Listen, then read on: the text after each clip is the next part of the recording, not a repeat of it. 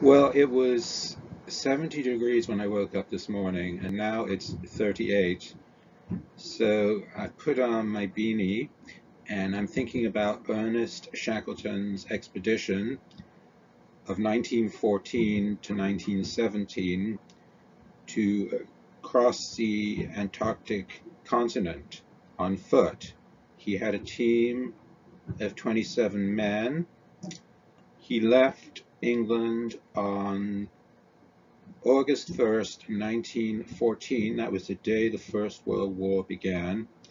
Uh, he had to get permission from the First Lord of the Admiralty to leave, and that was Winston Churchill at the time. And so he set forth on this amazingly ambitious journey uh, that uh, would take the team first to the remote island of South Georgia, off the tip of South, South America, and then he would um, approach uh, Antarctica through the Weddell Sea. And he had for a vessel uh, one of the sturdiest uh, barks that had ever been built, a three-masted bark built, custom built by Norwegian uh, shipbuilders, extraordinarily thick, dense uh, wooden sides designed to uh, withstand the pressure of the ice.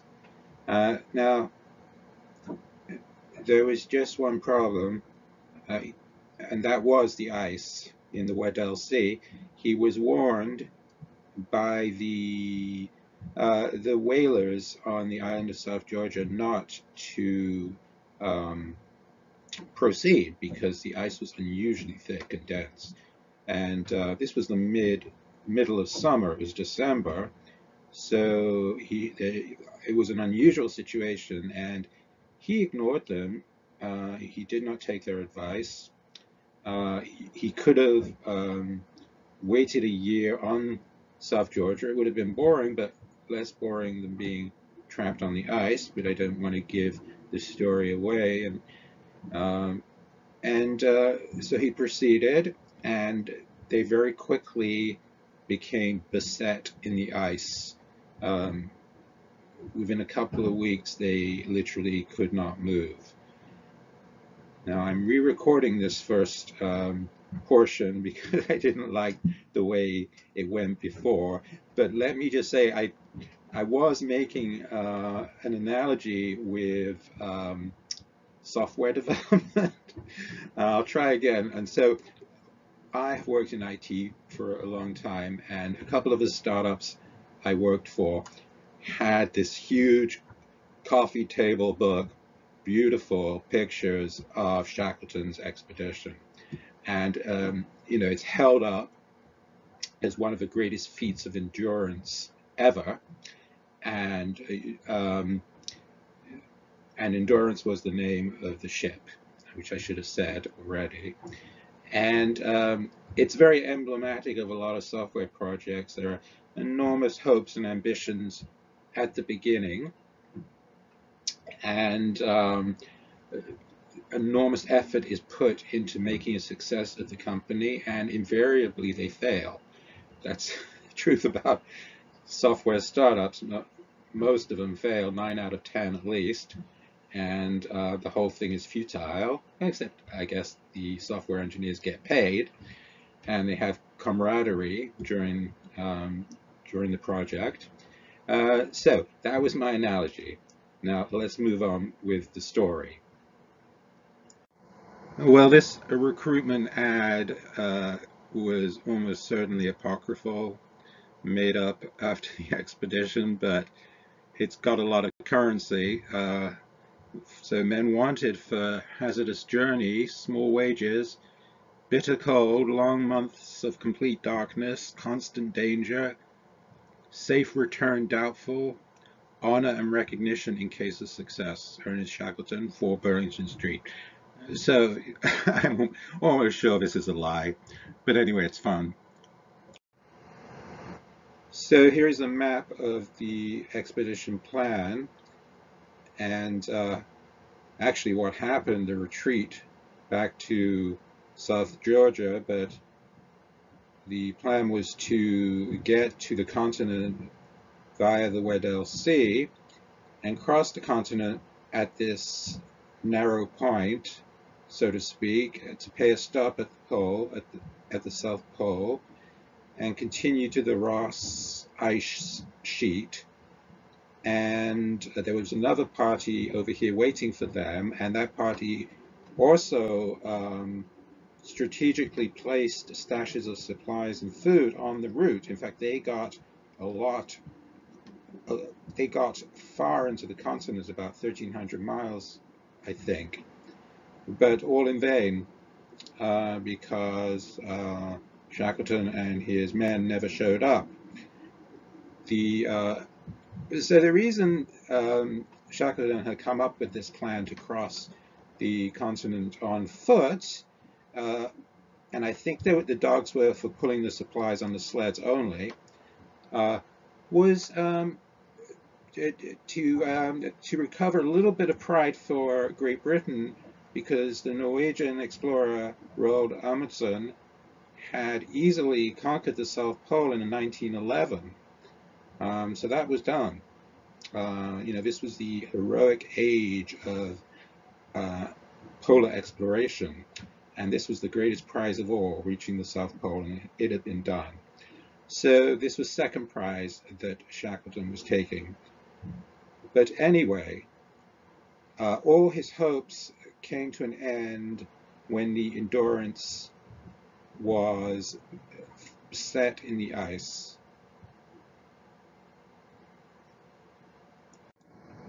Oh um, no. in January 1915, it became beset, completely icebound in the Weddell Sea near Vahsel Bay, a few miles from the Antarctic mainland, and that's the closest they got to the mainland of Antarctica.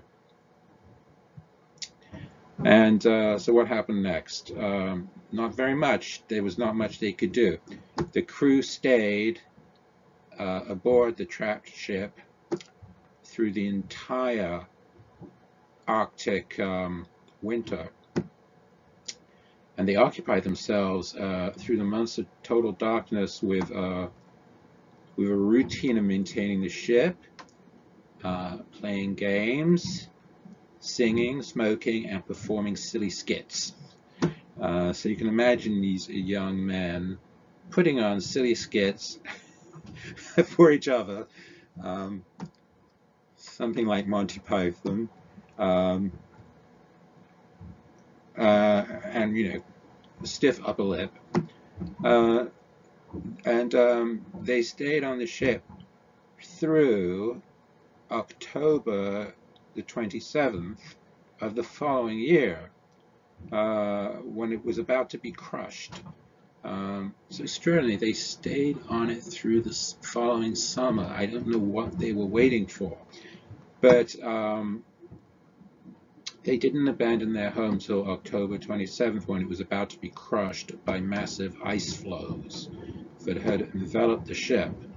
Um, and when they did abandon the ship, they experienced the full shock of the elements, um, beginning with a, a futile and three-day march over the ice to establish a temporary camp. And not clear why they marched three days to establish the camp. Maybe they were looking for more stable ice. Um, and that was interrupted by a mad rush back to the boat to recover more provisions from the ship before it went down. So uh, I just recorded um, the story of Captain Bligh, William Bligh, and Fletcher Christian, and I see a lot of parallels. Uh, in, in, both cases, uh, you had a natural leader, but one who was prone to making poor decisions.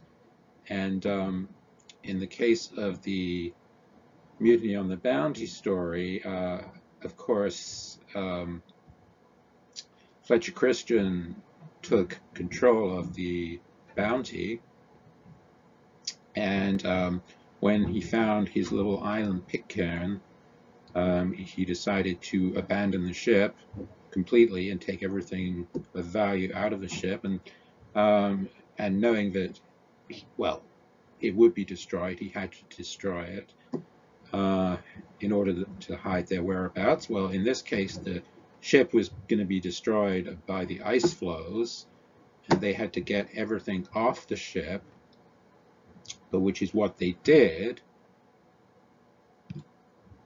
And uh, they then embarked on a march to open water. By the way, I should say that um, the boat came to a very sad end. This beautiful Norwegian bark, it was just engulfed in snow and compressed, and it was groaning and shrieking and cracking and um, scaring the dogs. They were mesmerized by it, apparently in this photograph. Um, they were watching the end of the Endurance, which was their home for a year or more than a year.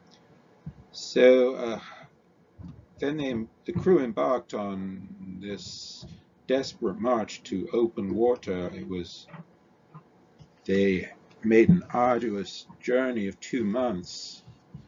And let's go to the next slide. So they were dragging these, hauling these three heavy lifeboats which was uh, obviously, you know, their only means of escape.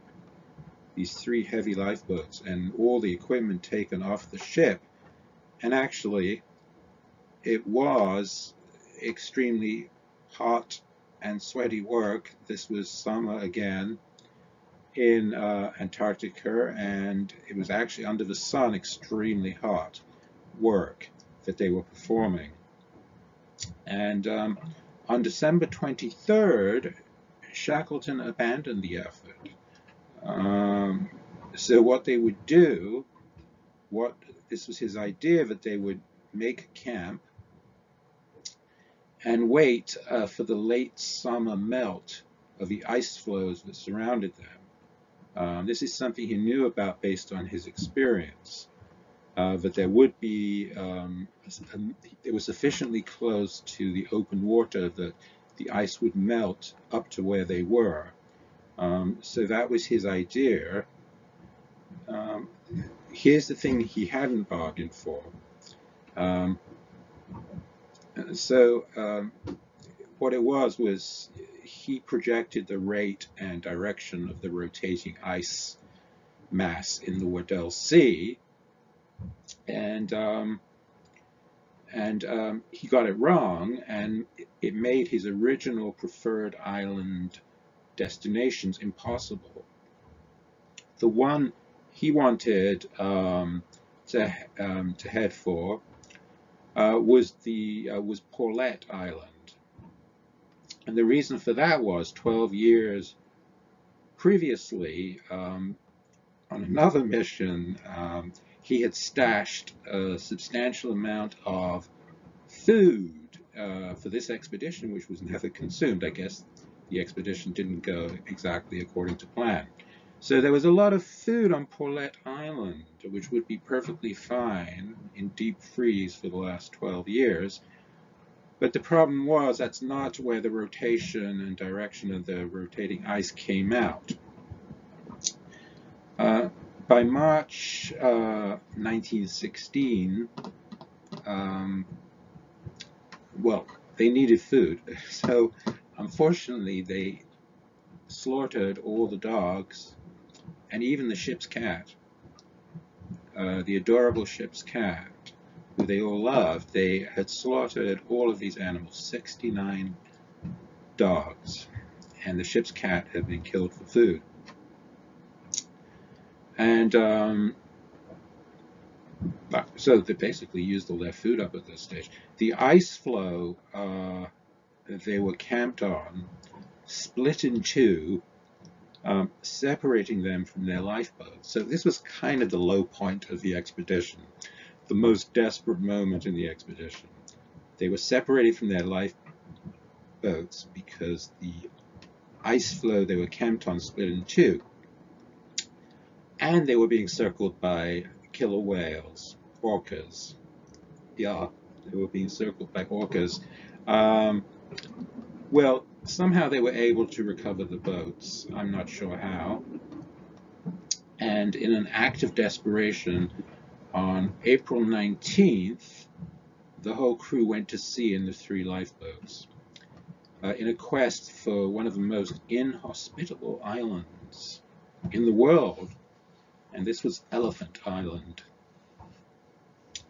It was a 200 mile, week long voyage um, in open boats over treacherous waters to reach um, a tiny speck. And if they missed it, uh, they would die in the open ocean. Uh, fortunately, it seems um, uh, Shackleton was a better sailor than uh, explorer, to be perfectly blunt. He was a very good sailor. Um, so they survived this 200 mile voyage in open lifeboats uh, um, to the island, Elephant Island, but it had nothing uh, to offer but steep, rocky ledges. Oh, let's have a look at Elephant Island. So this is Elephant Island, delightful. Uh, um, um, but at least it was solid ground. The first uh, the men had stood on for 497 days uh, since the expedition had departed South Georgia, and they, there was no way they could reach South Georgia at this stage. So they found the one spot on the island that afforded some shelter, uh, which is just essentially under a rocky ledge, um, and they hunkered down for the southern winter just north of the Antarctic Circle. So yeah, Elephant Island is just north of the Antarctic Circle. Uh, and uh, within days, Shackleton uh, announced he would leave and attempt to sail to the distant South Georgia. Not with the whole team, obviously, but just with a couple of hand-selected people. Um, so so how did the uh, how was the crew how was the team um, how are the men uh, expected to survive on this totally inhospitable island uh, with little shelter and with apparently no food? Well it turned out there was a very nice food source. Not only a food source a source of heating or uh, warming is a you know a source of heat. Yes, um, and it turned out um, this source of food and heat was seals. Apparently, they used to bask on the rocks, and they were easy to bludgeon to death. And they had blubber and meat, and the blubber was an excellent uh, means of uh, creating fire and maintaining it and producing heat, and the, um, protein was plentiful in the uh, seals. There were a couple of nutritional things that they were lacking, but it enabled survival. There was very, very little carbohydrates, of course, none at all, I think, and this actually sort of disabled the men. They had very low energy, but they were able to, to survive. Now, um, Okay, so Shackleton selected five men um, with the and they chose the largest lifeboat. And let's have a look. There they are, five men and Shackleton, and uh, you see that the lifeboat had been covered. So this was the remarkable work of the carpenter. Um, he had uh, raised the ship's sides and he had um, built an improvised deck. And uh, without the carpenter, they never would have made it. Um, and they set out for a hellish 17-day voyage of 800 nautical miles, um, you know, under treacherous conditions and navigation against adverse winds and currents. Um, but they made it. Storms actually helped them by driving them ashore on the wrong side of Georgia Island, but South Georgia Island, but at least they made it to this island. But it was by all accounts a terrible, terrible journey. Um, so, um, Shackleton decided um, that, so he decided that they could not um, uh, circumnavigate the island uh, to the whaling station on this boat. It was too treacherous, it, the odds against it were too poor. So he took another route option that was equally precarious and unlikely to succeed, um, and that was to um, for he for him and two others to set out by foot across the mountains of South Georgia. And uh, no one had ever done this. It was unmapped, it was uncharted, um, it was something of a suicide mission. Um, it was extremely mountainous. Um, they were going to do a 25 mile trek over icy peaks under you know extraordinarily exposed conditions, um, and um, almost miraculously, uh, they were they succeeded. Um, uh, they completed the journey in 36 hours with life and limb intact, um, and they did it without sleep because they knew if they slept, they would die. They would fall asleep. They would uh, they would die of exposure if they slept. So they just um, gave it all they had. Um, one of the things they did was they actually um, slid down the mountain slopes, um, uh, you know, as if they were on a toboggan or something. They just let it go um, rather than expending any energy at all on the descents uh, down these islands, uh, down these mountains, and um, um, they all recounted a feeling of having an invisible guide uh, uh that, that, helped them, like another person um, who was helping them. This was just an experience they all had. So this was really, I think, like a near-death experience for the three of them.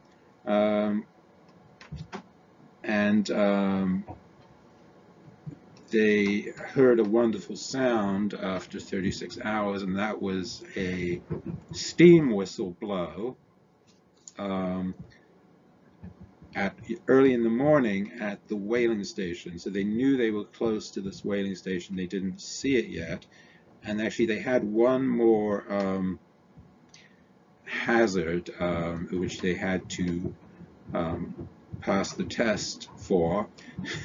and this was a frozen waterfall, totally frozen, and they had to negotiate uh, their way around this frozen waterfall, but they made it.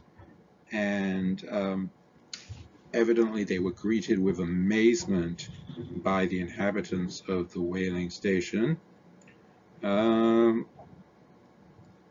and um, you know, one wonders what the uh, members of the whaling station really thought, because um, they had warned Shackleton not to proceed at that, you know, two years ago, um, and he had ignored them. But anyway, they nursed them back to health, and actually they went and got the three that were left behind on the other side of the island. They recovered them very, very quickly.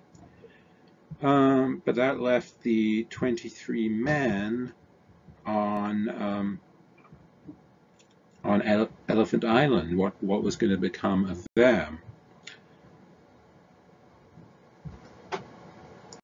So this is the whaling station in South Georgia.